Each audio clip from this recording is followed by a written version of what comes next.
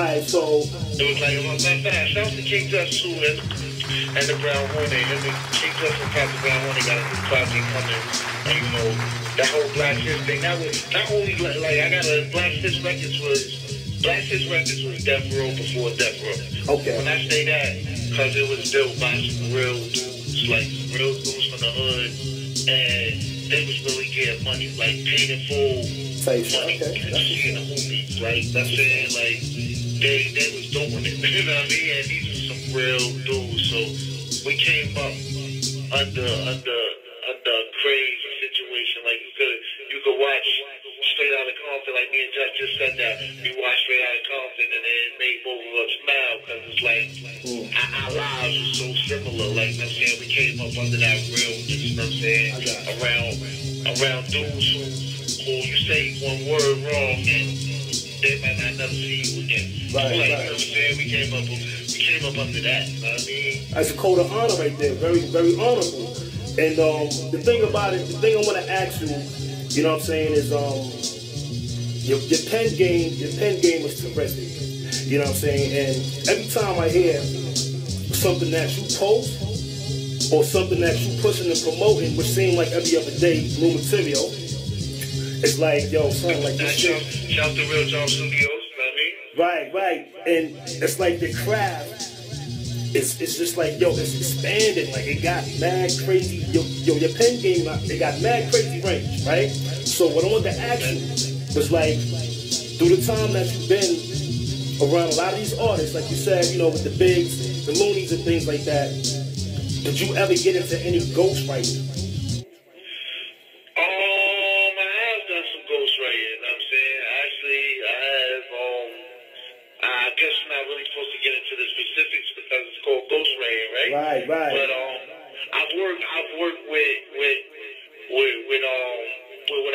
You know what I'm saying? I've worked with Heather Hunter, you know I'm saying? And she's a cool person. Right. And it was, it was dope working with her. And I also got an opportunity to, like, write some hooks for Phillies Post Morning. Okay. And that's about it. I work with some other people too, but like you said, ghostwriting, we're not really supposed to speak on that. You know what I'm saying? Alright. And, and, unless they didn't pay me. You know what I'm saying? Like I said, that's the only reason why I'm telling y'all about Inspectah Deck's Love Letter. Because, you know, at the we was fans, so I guess it was cool. And even that, it wasn't like, it wasn't ghostwriting because he just stole it. Right. Like, you know what I'm saying? So Right. ghostwriting would have been my consent. Like, y'all don't understand, this is how it happened. It was like I was in the studio and I recorded a song called Love Letter. Mhm. And you know, I, I, I, a song that, you know, all my music is based around real life stuff. So I, I, I recorded a song, Love Letter, I'm saying based on life experiences. And he comes in the studio and he hears the record he's like, yo, this is crazy. Yo, it's dope. I, I like this record. Mhm. So the next day, this is a studio that we all work out of. This it's our studio, our personal studio. Okay. Next day I come to the studio, I walk in the studio, I hear the beat from my song playing. So I'm thinking they listening to my record. Right. You know what I'm saying? So I, you know, I get in the studio, they listening to a new version of my record Wow. that Inspectah Deck did. Mhm. And I'm like, yo, and then he's looking at my face like, is he seeing? I'm like, yo, what the hell is going on here? He like, yo, I was so inspired by your record. I went home and it just related to my life. And Wow. I felt like I wanted to do a version of it. And you can hop Wow. on it and it'd be like the remix. All right, so Remix, my, my joint didn't even come out in my head. I'm saying this. Because, you know, at the end of the day, you know, I'm a team player, so I'm Yeah. bugging in my head like, yo, they stole my record. Right, but right. it's like, you know, I'm feeling like this the big homie Inspectah Deck, you know, this is bomb atomically and all of this. Right. You know, we, we, we, I was honored and amazed that, you know, somebody, some people will call him like their, their favorite rapper. You know Right. They're one of their greatest rappers. So I was honored that, I was honored that, that, that a rapper of this level, you know what I'm saying, even wanted to use something of mine. You know what I'm saying? That's like, I'm pretty sure Bleek would have did the same thing for Hove or, or Beans or, you know what I'm saying? Or, or, or, it, whatever, you know, if it, whatever situation it was, it, would- it would have been the same. So, you know, at that time, it wasn't nothing because we a team. Right. But it's like now, like I said, you running around and you can fix your face to say, to say some kind of foul things about me. You know what I mean? Right. It makes me feel like, you know, let's talk about all of these things that you did that nobody knows. Like you want to make me seem out like the bad guy. I'm the dude who who is helping you get your swag right.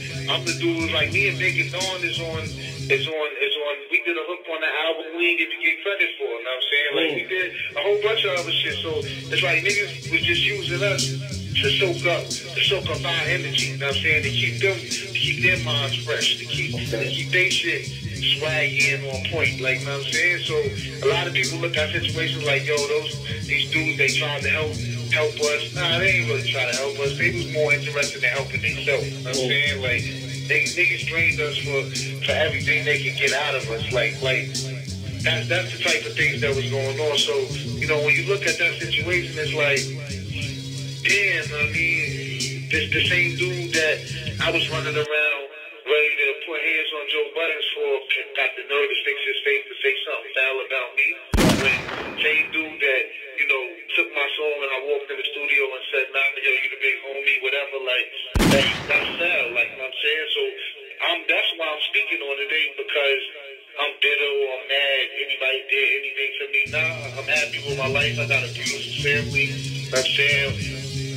everybody around me groovy. Like, I'm saying? I ain't, I ain't worried. Got you, brother. And I, def- I definitely see that. I definitely recognize that.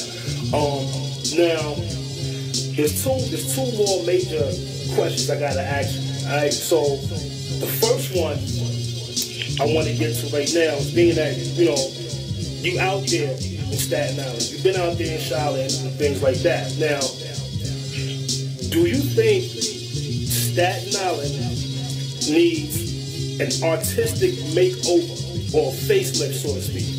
And the reason why I'm asking that is because I would like to say at least 90% of the media, right, refers to Staten Island as Shaolin for one reason. So I'm saying, do you think that Staten Island needs a facelift right now? I mean, I, believe we do, and no disrespect to, and, I say this, I say this because I'm trying to be politically correct. It's never a cop out. You know what I'm saying? It, it's, it's never, I can say anything I want to say. You know what I mean? Peace, but. I'm to say it politically correct. You know, respect to what, what, what they contributed to, to, to the fame of Staten Island and, and, and, and all of that. But, yeah, because when you think of Staten Island, you think of Wu-Tang, you know what I'm saying? And, and a lot of people got this in their head that, that this is like Wu-Tang land, like, like Disneyland is in Florida, this is Wu-Tang land. And everybody's happy and, and, and they're singing like the, it's a small world tribe, I mean, with the W's up. Right. It's not like that out here, you know what I'm saying? Right. I mean, I don't really want to shit on niggas, but I gotta tell it like it is. Like, you know, I can't say that that that, that they gave back as much as they took. You know what I'm saying? And a lot of credit, you know, Staten Island, we Shaolin, that's Staten Island. And that's what made all of us great, you know what I'm saying, is the support from the borough. Okay. I, I think this, the borough may have supported them more than they supported the borough back. You know Okay. That's a fair answer. a lot of people are, uh, don't really feel like if you came here to stand out and you asked a question about them, you might not get the response you expect. Right. You might expect people to start doing backflips and tell you all kind of great stories. You're more likely to get a whole bunch of messed up stories. You know what I'm Right. saying? Right, Like right. I could tell a million, but me telling it is I'm gonna look like a hater. You know what I'm saying? Like Wu Tang fans salute to them. Right. It's like they like in the code. You can't tell them nothing bad about anything. They got to do with Wu Tang.